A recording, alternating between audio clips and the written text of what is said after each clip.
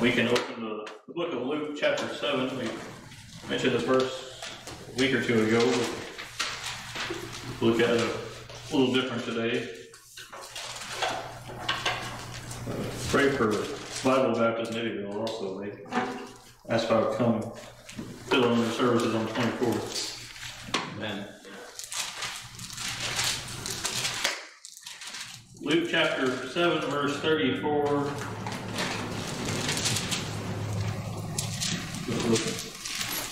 Pharisees were, were always hypocritical, even contradicting themselves sometimes. Right. Go ahead and read verse thirty-three to see what I mean here. but It says, For John the Baptist came neither eating bread nor drinking wine, and ye say he hath the devil.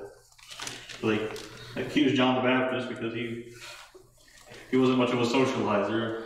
And then it says of Christ, the Son of Man is come eating and drinking, and you say, Behold, a gluttonous man, a wine bibber, a friend of publicans and sinners. So then Jesus was a bit more of a social type, and mm-hmm. yet they accused him of being a, a sinner and friend of sinners. Mm-hmm. I would like us to look at really what a friend Jesus is, though. Amen. Certainly he is a friend to sinners, but not the way the Pharisees meant it here. They were accusing him of approving and even being partakers of their sins, and we might say being buddies with sinners, but that's not the type of friend that Jesus is. Amen. You can be sure he will never approve our sin. But he is one that bears our sins and our sorrows. He is a friend that was tempted in all points like as we were, according to Hebrews 4.15. And Amen. in so doing, he understands what we face, and he, we can go to him for help when we have needs. Mm-hmm. Hebrews 4.16 tells us that. Let's go over to Proverbs for a moment and look at a few characteristics of a good friend and how ultimately they're fulfilled in Christ. Proverbs 17.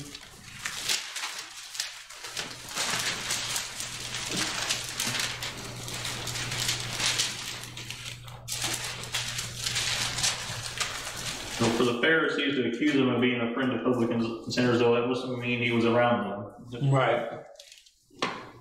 Not that he was down at the bar drinking with them or something like that, but that he was socializing with them in a sense. Mm-hmm.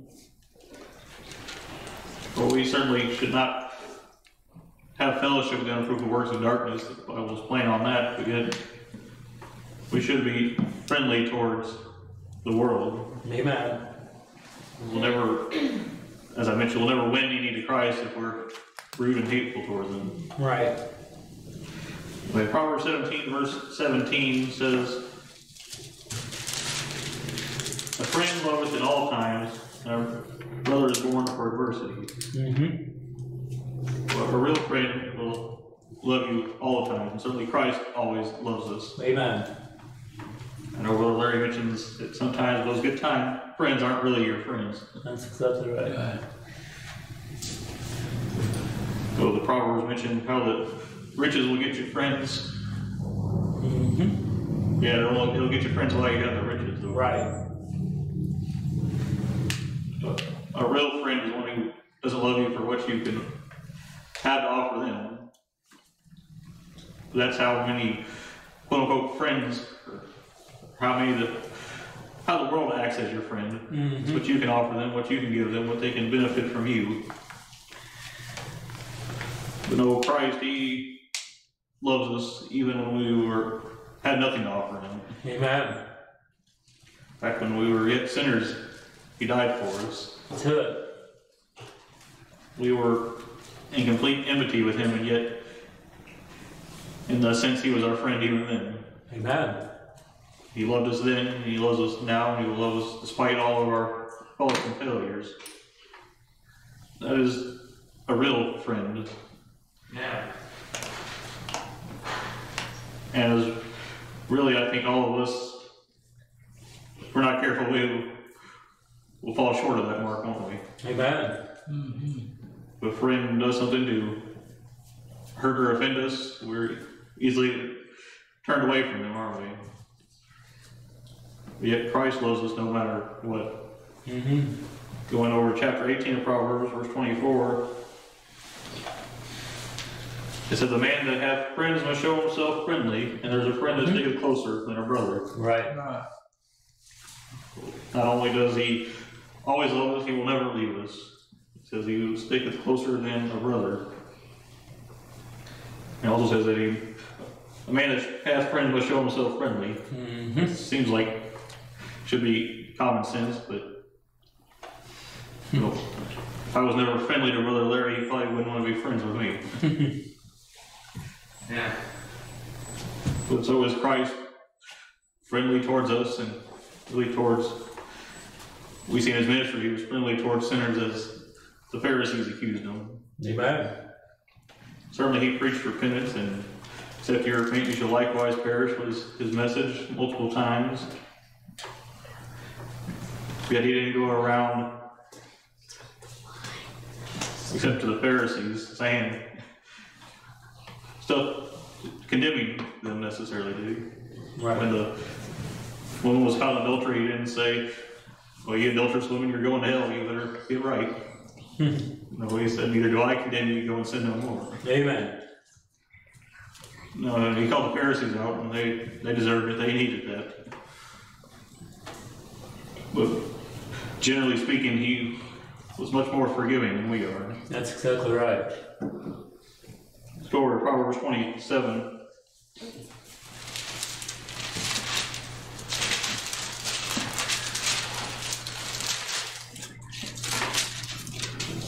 Verse number six says, Faithful are the wounds of a friend, but the kisses of an enemy are deceitful. Right. And with his reproof, his rebuke, his correction, all those things are for our good. Even though they may feel like wounds, but yet, says they're faithful, they're only really for our betterment, if you will. Right. Christ never does anything that's really for our detriment. He, sometimes it may seem hurtful to uh, the flesh, but yet all things work together for our good. That's it. Amen. really to them who are love God, to them who are called according to His purpose. That's it. So yes, even what we perceive as wounds are for our good. So sometimes it's just to point us to our need for Him. But a real friend will will reprove and rebuke and exhort. A real friend will correct Amen. I, if I saw Brother Larry to walk out in front of a car, I'd say, well, he might get offended if I say something to him. That's how we act about sin, though, isn't it? Mm-hmm. Or a real friend will say something, not in a condemning way, but how we ought not to be afraid of speaking the truth, though. Amen. even if that causes wounds, if they're done in a biblical manner, they're for that person's good. Mm-hmm. Even so, so much more Christ does to us. The Bible says that itself, it, the Word of God is a two-edged sword dividing the sunder of the, if I it right. It, it pierces going in and coming out, doesn't it? Amen. Sometimes the word of God is hurtful to this flesh, but yet it's always needful. Amen. Let's go back to John chapter 15. Uh, probably first verse, probably a very familiar verse.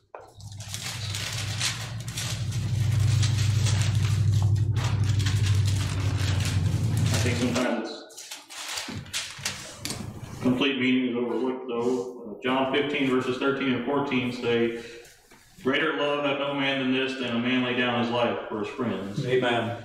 You are my friends if you do whatsoever I command you. Mm-hmm. You know, I know everyone points to his death, and that was part of it, but he gave his en- entirety of his life. Right. from, really from birth, all the way through his ministry, even to his death. Christ gave his life for us. And I think it's in First John says if he laid down his life for us, we ought to lay down our lives for the brethren. Amen. We ought to have the same love towards one another that Christ had towards us. But he says there is no greater love than a man lay down his life for his friends. And certainly Christ was a perfect fulfillment of that. In every way he gave his life for us. Amen. So he he left all of his glory and came in the form of sinful man as a lowly servant. He wasn't a man of high esteem. Who he is, could have, we could say, exalted himself and became king of Israel, and that wasn't what his purpose was. Right. We came as a, a servant. He came to, to lay down, as I said, his life for his friends, for us. To live a life completely sinless and live a life void of this world and its things. And then to lay, lay down his life and death for our sins. Mm-hmm. There's, there's no greater love than that. Amen. You know, I remember Brother Rich used to say, the greatest love story ever written is in the Bible. Amen. And certainly it is far better than any romance novel you can find. And amen. But sometimes I think we overlook his great love towards us. And not only did he die for us, but he also lived for us. Mm-hmm. His only, I you'd say, stipulation or request is in verse 14, you are my friends if you do whatsoever I command you. Mm-hmm. We are to display our love towards him by keeping his commandments. Mm-hmm. That's uh, verse seven. uh, well, didn't mark it down, but one place it says, if you love me, keep my commandments. Mm-hmm. I think it's in first John, he says, that we show our love by keeping his commandments, and his commandments are not grievous. Well, if we really love God, we'll keep his commandments, we'll serve him. Mm-hmm. I, I know we won't be able to do it perfectly in this flesh, but if we really love God as we ought to, we will strive to serve Him to the best of our ability. Mm-hmm. Really, is not that not what Christ deserves, seeing all that He did for us? Mm-hmm. As great of a friend He was for us, should we not be willing to give our lives for Him? Not just in death, but in service as well. Mm-hmm. But oftentimes we're like that selfish friend who only wants what benefits us. We we want all the good things of Christianity, but we don't want the hard time, do we? Right. That's the problem with that health and wealth prosperity gospel today. There you go. It's all about self and what self can get. For the life of a child of God, it should be about service to Christ, to God. We see two examples in the scriptures of people who were called the friend of God. Abraham was called the friend of God in James 2.23, which references back to Second Chronicles 20, verse 7. What does it mean that he was the friend of God? We see that it cost him really his family, his homeland, if you will. There you go. It says in Hebrews 11 that he so sojourned as a in a strange land, dwelling in tabernacles or tents. It says he looked for a city whose builder and maker was God. He was a pilgrim and stranger in this world. Mm-hmm. Well, that's being a friend of God will mean you can't be the friend of this world. In fact, James 4, verse 4 says, If you are a friend of this world, you cannot be the friend of God. Amen. Friendship of this world is enmity with God. You can't hold hands with the world and hold hands with God. Amen. You can't try to live by the world standards and expect to please God. It seems the further we go on through time, the farther and farther those ideals get away from each other. Amen. Just thinking in our modern society, if you live for God, you'll be hated by the world. That's it. You don't even have to be overly zealous and godly. You just have to speak out against the LGBTQ crowd, Right. they won't like you. You can just speak out against feminism, and they won't like you. Right. Off on a slight rabbit trail here, but I don't know how transgenderism and feminism can go together. Right. Just shows that I don't know the unstableness of the world's theo- or Right. philosophies. Then also Moses was called the friend of God. Back in Exodus 33, it says that God spoke to him as one who speaks with a friend. That was right before he requested to see God in all his glory. Do we have that type of relationship with God that we would be called the friend of God? I'm sure there's others that have that. Enoch would probably have that type of relationship. Mm-hmm. Elijah seemed to have that type of relationship. But are we so close to God that we could be called the friend of God, or are we just acquaintance that sees him on Sunday? Hmm. I'm afraid many, many professing Christians, that's about the state of their relationship with God is Right. weekend visits, if you will. Or how we ought to be so close to Him that we could be called His friend. Well, certainly, if you're born again, Christ is your friend. Amen. Certainly, He can even be a friend to sinners. I mean, He was our friend in our sinful state. But are we really friends with God in our relationship with Him? Hmm. Are we more like those that just want to use God for our benefit? Or we just have so little fellowship with Him that there's really no evidence that we ever walk with Him? Hmm. I'm afraid that's the state of many professing Christians today, is that Right. they have no fellowship with God, therefore they really have no friendship with God. Instead, in the early, in the beginning, God is not our buddy. He's not going to approve of our sins. He's not going to Amen. But certainly, if we're His friend, if we're walking in fellowship with Him, we'll, He will reprove us and rebuke us and correct us and exhort us. He will. He'll also pour out His blessings upon us. That may cost us friendships in this world. It may cost us fellowship with family members. It may even cost us horribly possessions. Mm-hmm. But yet to be the friend of God is far greater than all these. As Paul said in Romans eight thirty one, if God be for us, who can be against us? Amen. It really doesn't matter who is against us if God is for us. If God is our friend, it doesn't matter who our enemy is. Amen. And we would probably all be like Elijah when he thought he was the only one left, Right. but yet he had God on his side, so it really wouldn't matter if there wasn't anyone left. Of course, God corrected him and said, well, oh, there's seven thousand men that haven't bowed the knee to Baal. Amen.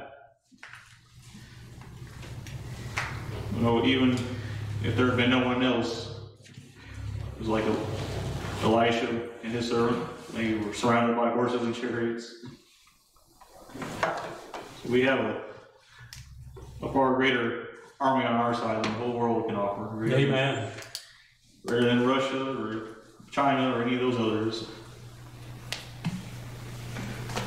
Even if the whole world were to come up against us, yet our God is greater. Yeah.